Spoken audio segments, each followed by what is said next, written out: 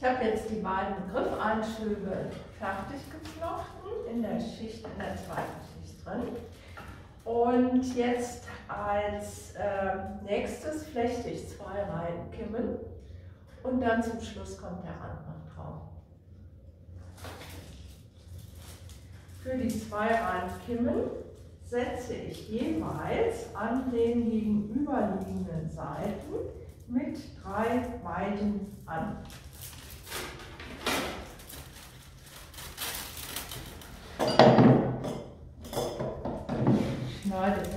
Bisschen Spitzen ab, die sind etwas zu dünn.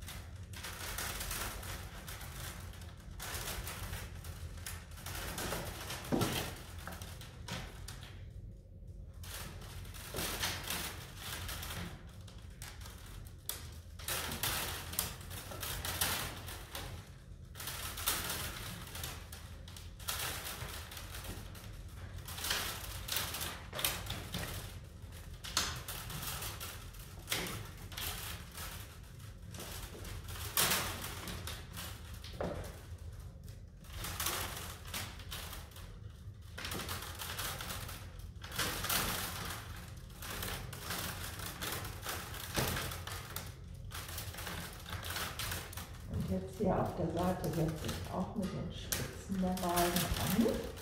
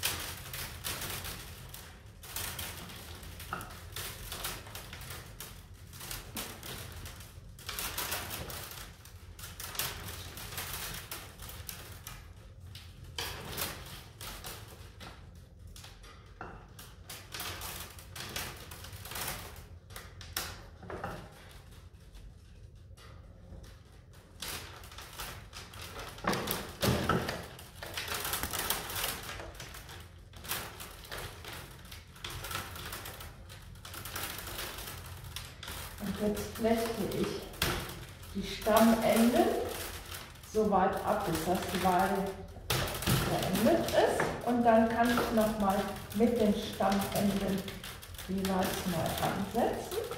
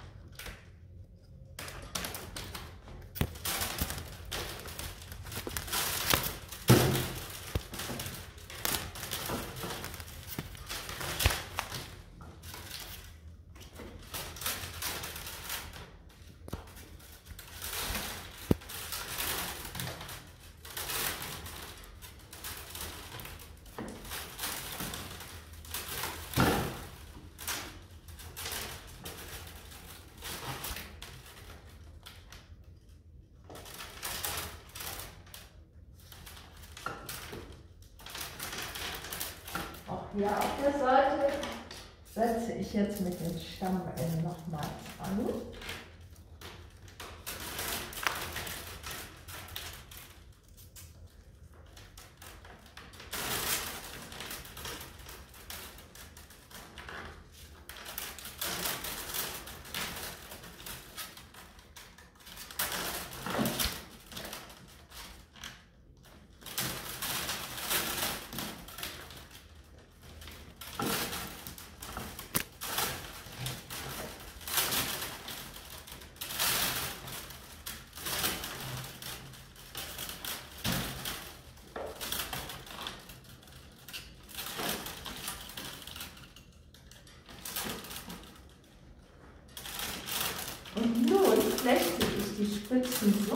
Ab, bis dass ich genau zwei Runden geflochten habe.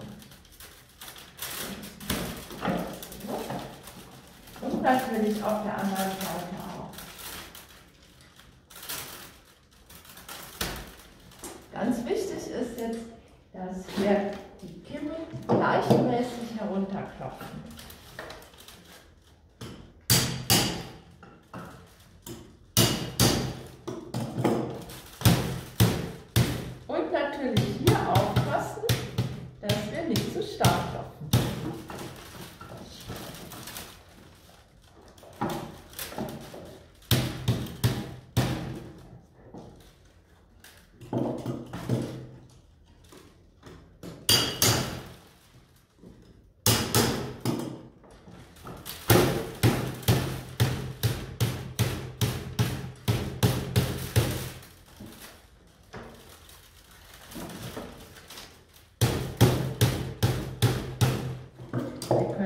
Hier nochmal von unten die Weide ein bisschen enger klopfen.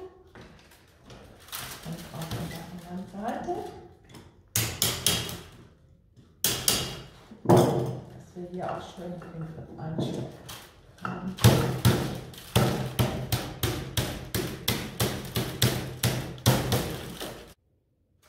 Nun kann ich den Rand flechten. Der Rand ist so der übliche Rand, äh, die Schlagzahl vor 3 hinter 2.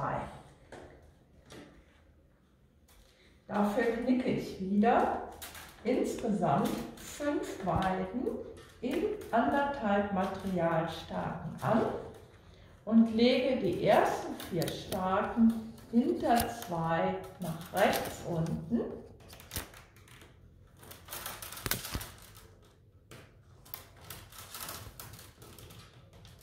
bevor ich mit dem eigentlichen Muster vor 3 hinter 2 anfangen kann. Vor 3 und hinter 2. Vor 3 und hinter 2. Und jetzt sind wir ja hier am Eckstab. Den können wir jetzt verschieden bedienen. Da gibt es auch verschiedene Möglichkeiten. Ich zeige und wähle jetzt einmal folgende. Knicke hier. Diese Weide, diese starke, hinter eins daneben. So, jetzt liegen diese drei parallel, diese Weiden, diese starken, flechte es vor drei. Und ziehe diese starke neben die erste, neben diese gelegte Weide. So, jetzt nehme ich eine Starke und die vordere Starke des nächsten Pärchens. Und lege hier diese Starke über diese anderen beiden herüber.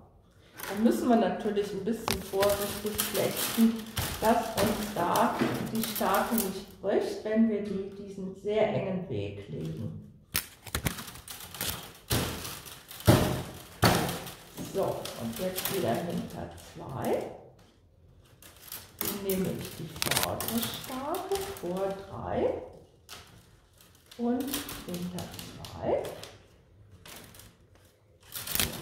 3 und hinter 2.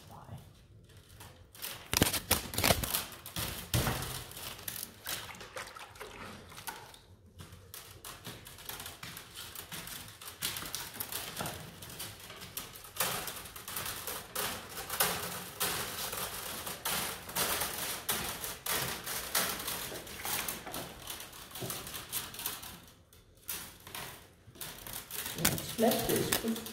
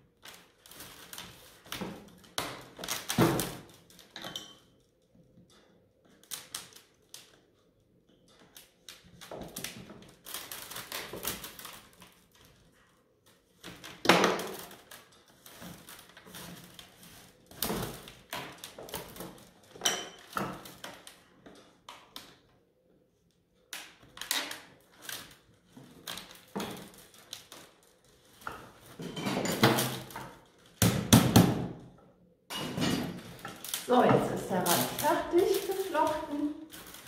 Jetzt kann ich die überstehenden Staaten abschneiden. Dann natürlich vor allen Dingen auch hier diese Gerüst Und anschließend zum Schluss hier die Eckstäbe absägen und den Korb innen fein ausputzen, dass man nirgends hängen bleibt.